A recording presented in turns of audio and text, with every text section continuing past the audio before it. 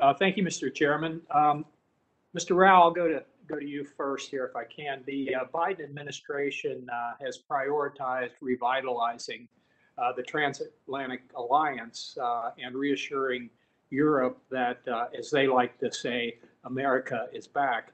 Um, my concern is that this is just talk um, and that it's not clear what we're getting in return. so, a couple questions. First, um, thus far, what tangible return on these efforts have we seen?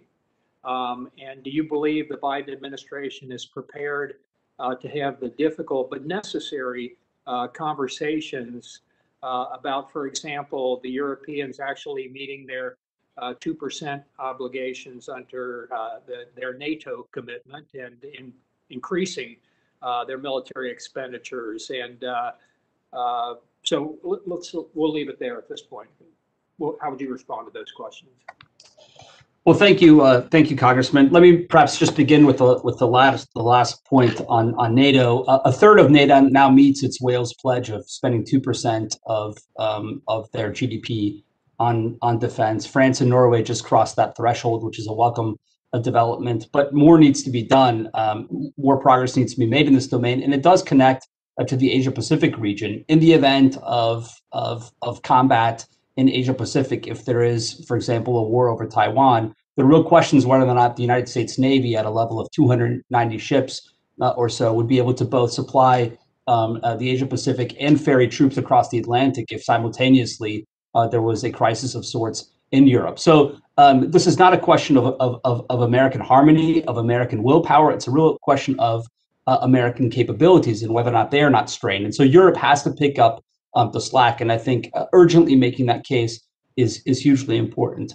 On on the subject of of um, of transatlantic uh, coordination, I think there have been a few uh, positive examples on, for example, Belarus, where the United States has worked well um, um with the Europeans on on coordinating statements. There have been a bevy of releases, including the Microsoft hack um, that was just raised. But on the major fundamental questions that are still uh, outstanding, on the big transatlantic sort of existential questions, we still need progress, and uh, we'll see what the administration produces in the coming months and years. Uh, thank you. I'll, I'll, stick with you, uh, Mr. Rao.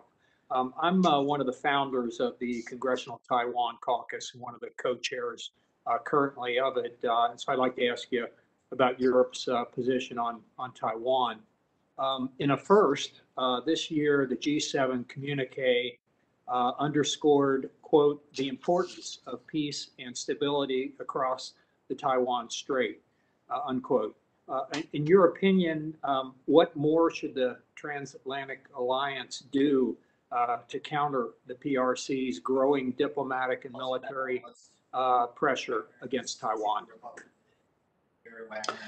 Well, Heather Conley has already outlined a few of the deployments that are that are ongoing, uh, which I do think are helpful. Uh, beyond that, I think developing a common strategic picture is useful, and the U.S. can do that by facilitating connections between our European allies and those frontline states who have really felt the brunt of Chinese aggression and ruthlessness of late.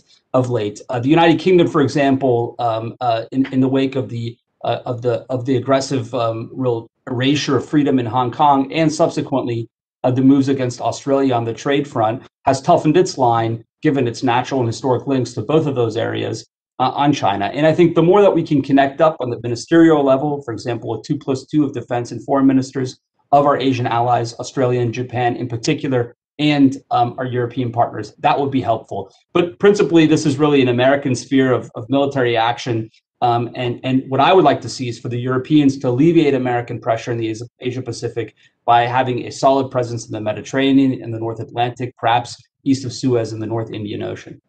Okay, thank you. Let me squeeze one more question. In the previous administration's uh, efforts to counter uh, the Chinese telecommunications firm Huawei, uh, including through the Clean Network Initiative, were quite successful.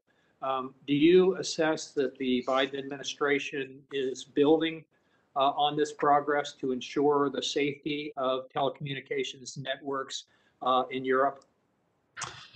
Uh, I think that's an that's an that's an open question. Clearly, um, there's bipartisan agreement on the importance of of keeping 5G clean, on keeping next generation telecoms amongst our allies um, clean, um, and and so in that sense, I would say yes. Um, beyond that, though, I think uh, we really need to push for and address um, how we can uh, uh, extricate ourselves from supply vulnerabilities um, by providing alternatives. And here, um, you know, there's questions about where strategy is going. Are we and the Europeans separately going to pursue a form of industrial strategy, for example, on next generation technologies, or can we work together as we did in decades past through basic research funding, um, perhaps relaxing some competition rules, and thereby generating some consortiums of transatlantic of private sector um, companies to push forward the frontiers of, of semiconductors, for example. And then it will be easier um, for our allies to feel uh, less the sway or less the pressure of, of, of the Chinese. So I'd say um, the jury's still out, but, um, but I'm hopeful.